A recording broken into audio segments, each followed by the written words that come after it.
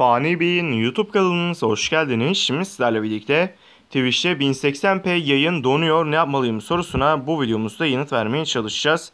Hemen detay olarak aktarımı gerçekleştirelim. Eklentilerden veya değiştirdiğiniz Chrome ayarlarından kaynaklı olabilir. Eğer Chrome'unuzun yani tarayıcınızın kullanmış olduğunuz tarayıcının ayarlarını değiştirdiyseniz bilgisayar donuyorsa bu eklentileri e, kaldırabilirsiniz. Devre dışı bırakarak deneyip ya da e, Chrome'u e, tamamen kaldırıp tekrar kurmanız gerekiyor. 1080p yayın donuyorsa DNS ayarlarınızı mutlaka değiştirin.